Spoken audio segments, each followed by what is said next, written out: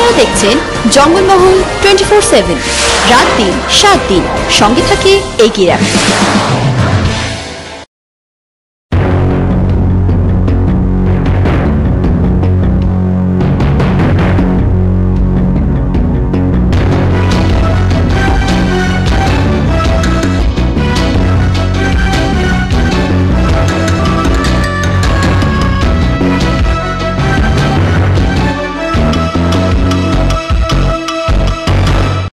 নমস্কার, শুরু করছি জঙ্গল মহল নিউজ বিস্তারিত খবরে যাব, তার আগে দেখে নেব আজকের শিরোনাম।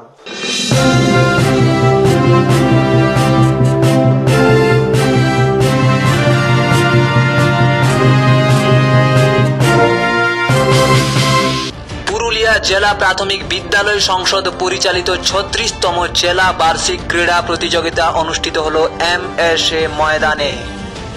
পাড়া বিধানসভার মহুলা মাঠে তৃণমূলের সভা। উপস্থিত সাংসদ মানস ভূঁইয়া সহ অন্যান্য নেতৃত্ব। জেলা জুড়ে চলছে এইচআইভি, এইডস সচেতনতার কর্মসূচি। আসছি বিস্তারিত খবরে। পুরুলিয়া জেলার বিভিন্ন ব্লকে এইচআইভি এইডস নিয়ে জনসচেতনতা কর্মসূচি চলছে। গত পয়লা ডিসেম্বর জেলা শাসক এ বিষয়ে একটি র্যালির উদ্বোধন করেন। একটি ট্যাবলো এবং বিভিন্ন লোকপ্রসার শিল্পীদের মাধ্যমে জেলা জুড়ে প্রচার চলছে।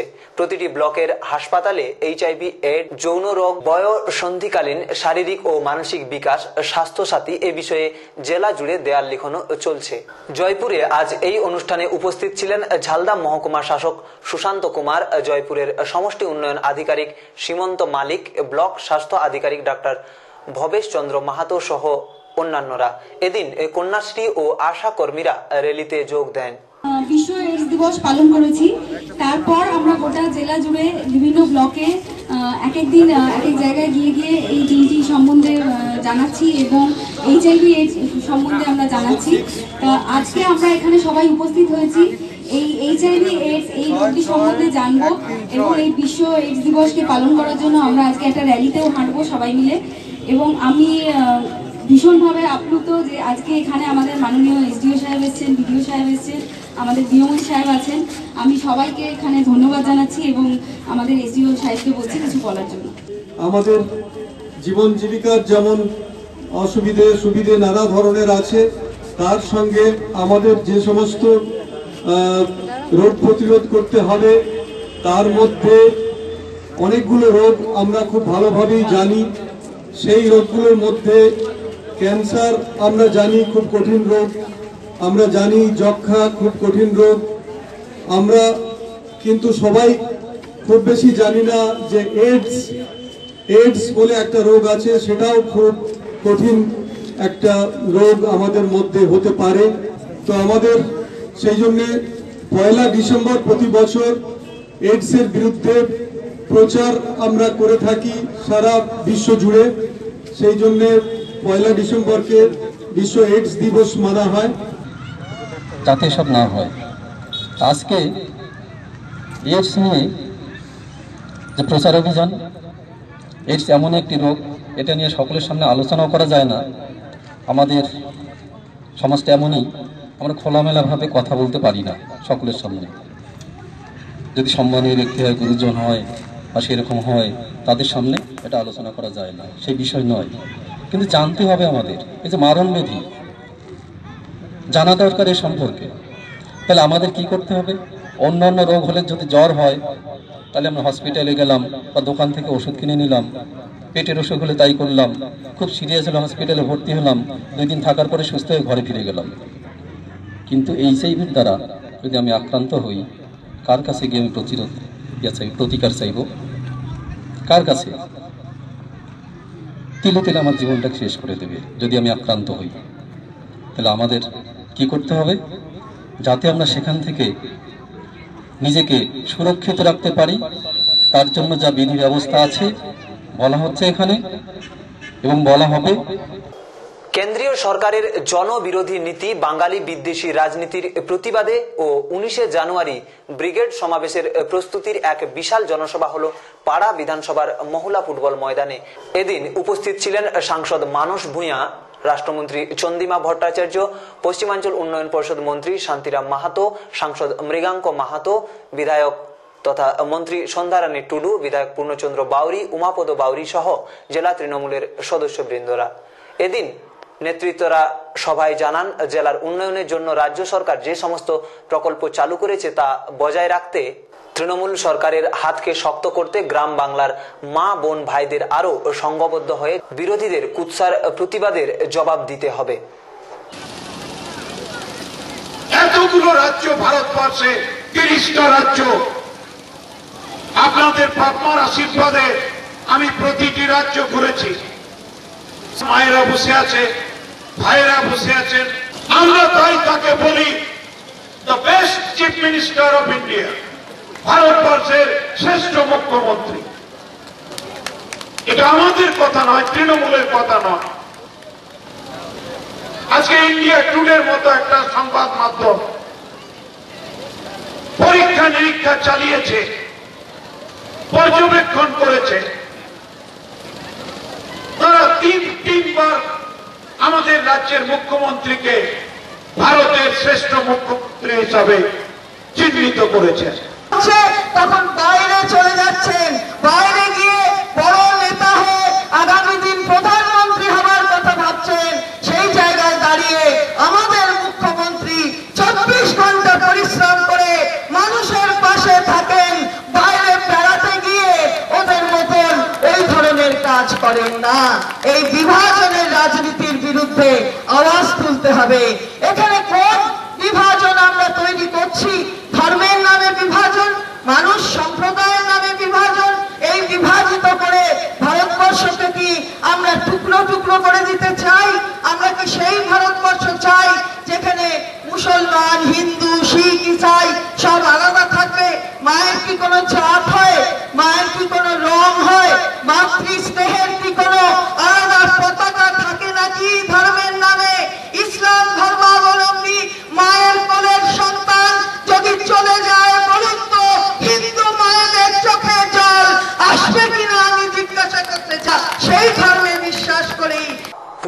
জেলা প্রাথমিক বিদ্যালয় সংসদ পরিচালিত ছত্রিশতম জেলা বার্ষিক ক্রীড়া প্রতিযোগিতা অনুষ্ঠিত হল পুরুলিয়া এম এস এ ময়দানে।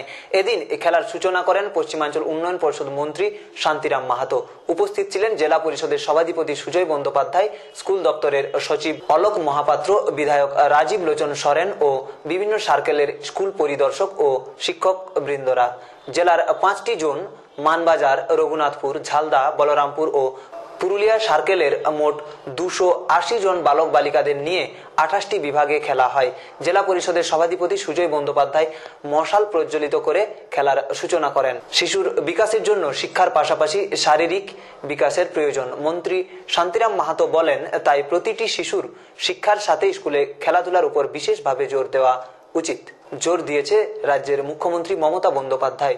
স্কুলের অনুশীলনে আজ জেলা স্তরের খুদে খেলোয়াড়দের প্রতিযোগিতা। জেলা স্তরের সফল প্রতিযোগীরা যাবে রাজ্য স্তরে। দিন দিন জঙ্গল মহলের প্রত্যন্ত গ্রামাঞ্চলেও খেলাধুলার আগ্রহ বেড়েছে ছেলে মেয়েদের যার সৌজন্যে বর্তমান রাজ্য সরকার এমনটাই দাবি মন্ত্রী শান্তিরাম মাহাতো। একজন শিশু শিক্ষার সাথে সাথে খেলাধুলা করার অনুপ্রেরণা পেলে আগামী দিনে একজন সুষ্ঠু নাগরিক হয়ে উঠবে। আমরা প্রাথমিক ও নিম্ন বুনিয়াদী বিদ্যালয়, মাদ্রাসা ও শিশু শিক্ষা কেন্দ্র সমূহের ছত্রিশতম জেলা প্রাথমিক বিদ্যালয় ক্রীড়া প্রতিযোগিতার নিয়মাবলী মান্য বাক্য এখানে শেষ হলো। এরপর আমরা অনুরোধ করব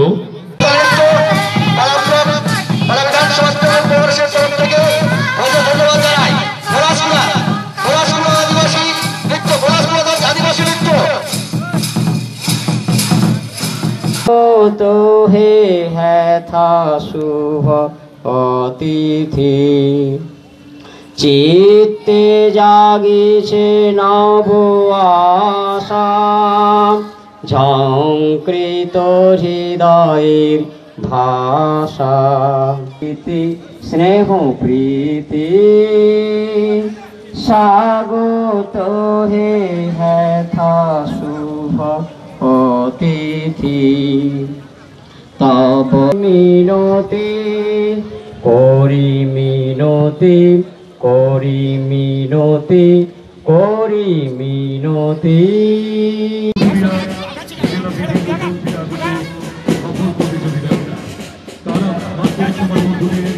আমাদের মঞ্চ প্রবিষ্ট সম্মানীয় অতিথিবর্গকে সম্মাননা জ্ঞাপনা করবেন অভিবাদন প্রদান করবেন এবং অভিবাদন গ্রহণ করবেন। অতিথিবর্গ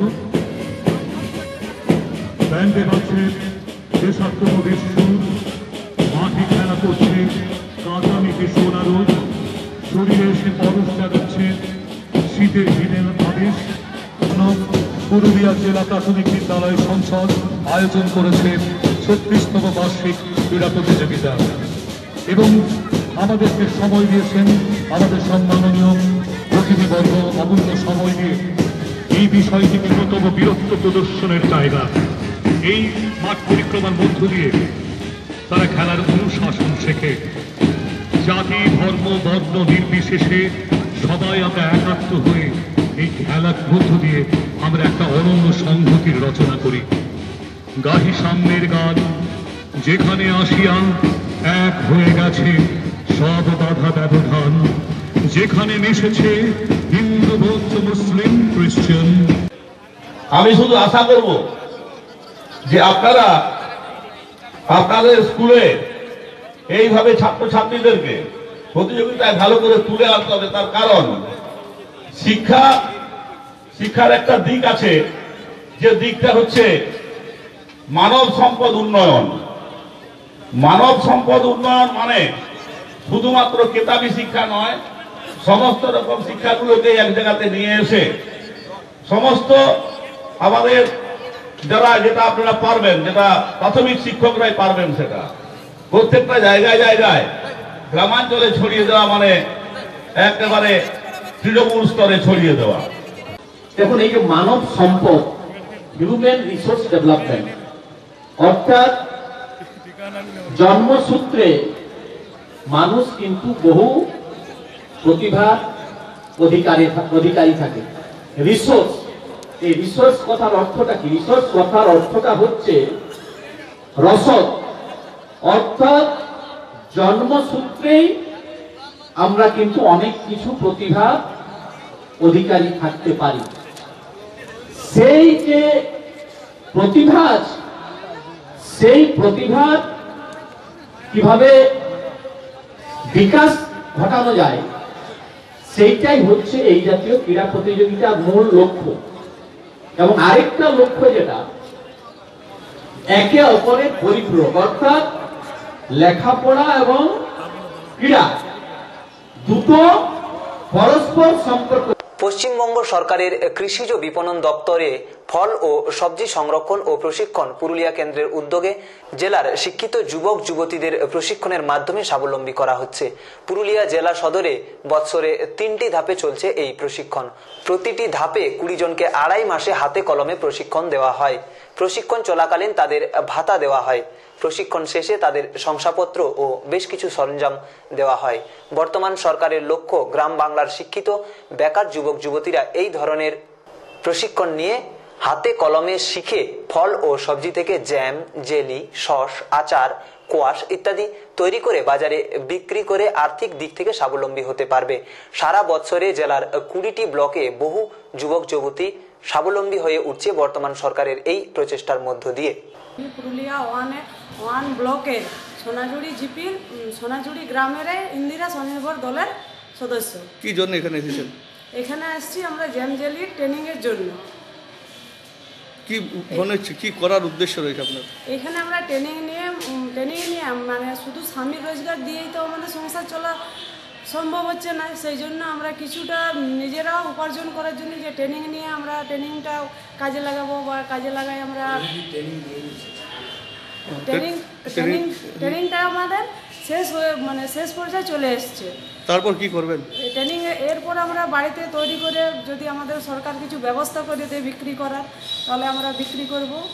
যে আমি পড়াশোনা করে তো কোনো কিছু কাজ পাইনি এখনও পর্যন্ত। যেহেতু সরকার যে নানা রকম ট্রেনিংয়ের ব্যবস্থা করেছে সেই সব ট্রেনিং করে নিজে কিছু করতে চাই এবং আমার ট্রেনিংটা জানজলি ট্রেনিংটা কমপ্লিটও হয়ে গেছে। এই ট্রেনিংটা নিজে বাড়িতে করতে চাই এবং যদি সরকারি ব্যবস্থা করে আমাদের যে সরকার যদি কেড়ে নেয়, তাহলে আমাদের এটা সরকারি সাথে, সরকারের সাথে যোগাযোগ থাকবে, তাহলে ভালো সুবিধা হবে আমাদের। না হলে এখন যতটা ইচ্ছা আমরা বাড়িতে তৈরি করে নিজেদের এলাকাতে বিক্রি করব। মানবাজার দু নম্বর ব্লক প্রাণী সম্পদ বিকাশ দপ্তরের উদ্যোগে প্রায় পাঁচশো জনকে মুরগি বাচ্চা বিতরণ করা হয়। বাড়ি জাগদা পঞ্চায়েত কার্যালয় প্রাঙ্গণে এই মুরগি বাচ্চা বিতরণ অনুষ্ঠানে উপস্থিত ছিলেন পঞ্চায়েত সমিতির সভাপতি, প্রাণী সম্পদ দপ্তরের আধিকারিক, পঞ্চায়েত প্রধান, প্রাণী বন্ধু সহ অন্যান্যরা।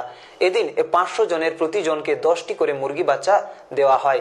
সাধারণ পরিবারগুলিকে স্বনির্ভর করা এবং গ্রামীণ অর্থনীতি দৃঢ় করার উদ্দেশ্যে এই উদ্যোগ বলে জানা যায়।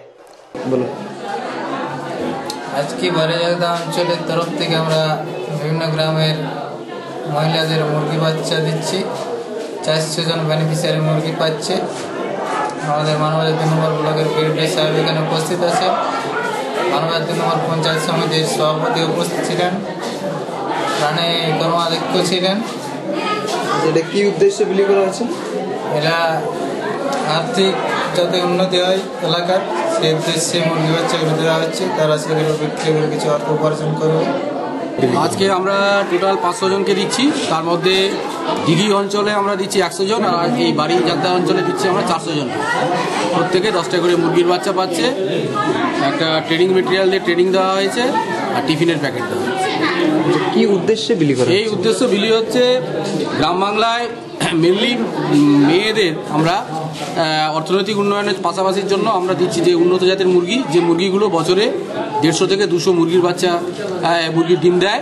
যার ফলে মায়েরা এই মুরগি পুষলে বা এই মোরগগুলো যেগুলো হবে, সেটা যদি দেশি মুরগির সঙ্গে ক্রস হয়ে যায়, আগামী দিনে ওদের অর্থনৈতিক উন্নতি বাড়বে এবং এই মুরগিগুলো পালন করার সঙ্গে সঙ্গে ওদের অর্থনৈতিক এবং ওরা যে গ্রাম বাংলায় মেয়েরা যে চাষ করছে তাতে ওদের আরও উন্নত জাতের কীভাবে চাষ করা যায়। এছাড়া এই মুরগি বাচ্চাগুলোকে আমাদের প্রাণীমিত্রা যারা আছেন, তারা আবার এদের ভ্যাকসিন করে দেওয়া এবার আসছি আবহাওয়া সংক্রান্ত বিভাগ, রোদ, মেঘ, বৃষ্টি, এই বিভাগে আমরা জেনে নেব আজকের সর্বোচ্চ ও সর্বনিম্ন তাপমাত্রা, বাতাসে আপেক্ষিক আর্দ্রতার পরিমাণ এবং ঝড় বৃষ্টির সম্ভাবনা।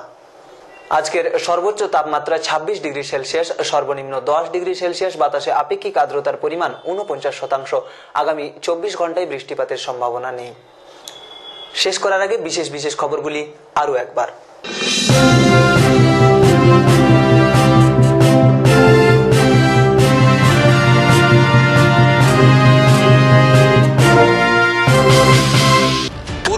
জেলা প্রাথমিক বিদ্যালয় সংসদ পরিচালিত ছত্রিশতম জেলা বার্ষিক ক্রীড়া প্রতিযোগিতা অনুষ্ঠিত হল এম এস এ ময়দানে। পাড়া বিধানসভার মহুলা মাঠে তৃণমূলের সভা। উপস্থিত সাংসদ মানস ভূঁইয়া সহ অন্যান্য নেতৃত্ব। জেলা জুড়ে চলছে এইচআইভি, এইডস সচেতনতার কর্মসূচি। জঙ্গলমহল নিউজ আজ এ পর্যন্তই। দেখতে থাকুন twenty four into seven Jangalmahal news, রাত দিন, সাত দিন সারাদিন নমস্কার। আপনারা দেখছেন জঙ্গলমহল টোয়েন্টি ফোর সেভেন। রাত দিন সাত দিন। সঙ্গে থাকে এগিয়ে